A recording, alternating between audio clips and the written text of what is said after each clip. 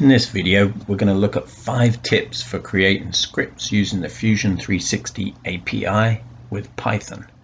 Hoping that I can show you enough so that you can get your own script started. I'm not an expert in this by any means, but what I'm going to do is I'm going to show you what I did to actually get the thing going and get working scripts and be able to draw some geometry and create some models. So the first thing we have to get right is there are some imports that you have to make to even get the script started. And these are just things that have to happen. Otherwise, the script um, doesn't know where it is in terms of uh, Fusion. So you've got to tell it where the UI is. You have to tell it that it's in the design uh, mode. And you can check these things as you set them and then you can throw an error if something's not right. So if, for instance, they try to run the script and they're not in design mode, it'll tell them, hey, you can't run it from there and get another chance to run it. To be honest, there's not much um, error checking in this script. And the reason is I didn't go into a lot of detail on that. It usually just, if it fails while I was um, programming it, when it failed, the traceback just told you where it failed, and, and that was it. It's pretty innocuous. It's not like a major disaster.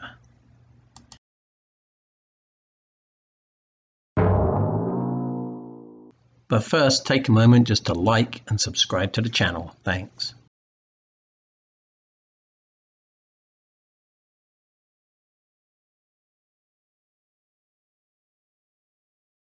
The next thing is the documentation for the API, which is provided by Autodesk. You can actually go there and see the documentation in some pretty good detail, um, how to use it. There's also some videos there that are presentations um, that'll give you some insight. So I strongly recommend that you take a look at the documentation. And that documentation includes all the things that you're going to need to, to be able to create um, decent scripts and and do different things outside of what I've done. So I I just did a sketch and extruded it. I did some user input, but I didn't use all of these features. So all those features are available. And if you take a look at the documentation, you'll be able to figure out how they work. And then of course, the most important thing is there are some code samples actually on that same page. If you scroll down, you'll see the code samples and you can use those. You can use those as a basis of creating your own script, or you can just uh, steal pieces out there that you want to do certain things with. So it's quite well explained, and you can see how to use the uh, the examples that they have. One other thing that comes under documentation, or at least the management of your script, I recommend you set up uh, either a Git or a, you know GitHub or what I use is Bitbucket. Um, set up yourself a directory there. You can set up the Git so that it saves the files directly from what you're using in Fusion. So in other words, when you save it from your editor, it'll be in the right place for Fusion. And then you can just push it up to your Git so you have it, um, the code versions and the, the file itself, you have it saved somewhere that's not on your PC in case you have a crash or something. The next thing is really just to keep it simple. When you're building these scripts, you want to build up gradually because you want to make sure you can test it and everything works. And remember that Python is a bit finicky when it comes to spaces and stuff and, and some of the error messages that come out of Fusion give you an idea of where the error is, but others in fact, sometimes if you just if you've made a mistake in your spacing, you've indented too far or something like that, the script just doesn't run and there's no feedback whatsoever. So you have to try and figure that out. So you got to keep it simple, keep it into small portions, use subroutines, and that will make it um, easier for you to debug and to get it working and to be able to use the repeatability of the subroutine. Do me a favor, like and subscribe the video and I'll make more. Thanks.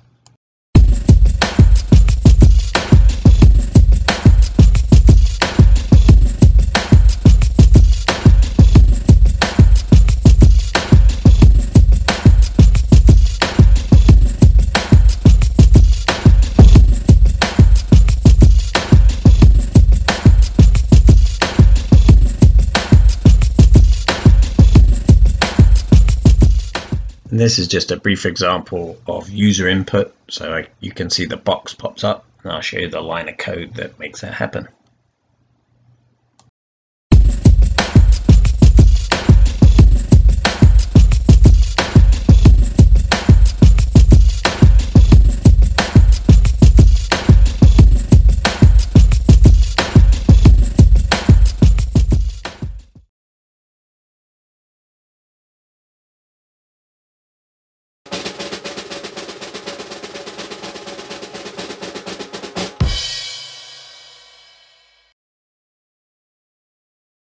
The technique I used for creating these sketches and then extruding the models was very simple.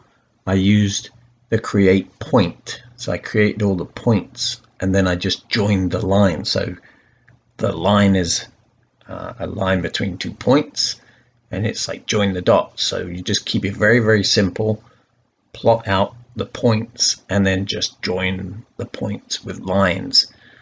Um, obviously you have to do the mathematics so that you can know where the, the point should go. But once you have that, it's pretty straightforward to draw the geometry. Then I'll just demonstrate the extrusion, which again is done in a subroutine. So all I do is I send it the profile that I need to, and immediately it will do the extrusion and then return. And so if I want to make two pieces, because each side has two identical sides, um, I just do the subroutine twice. I'm not doing the code twice. I'm just going to the subroutine and saying create another side. Very, very simple.